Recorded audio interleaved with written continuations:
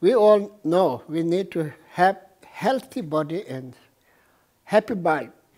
Healthy happiness bears kindness. Kindness is not only good for others, kindness is good for you. So that is we need to keep the kind heart and intelligent mind. What is intelligent mind?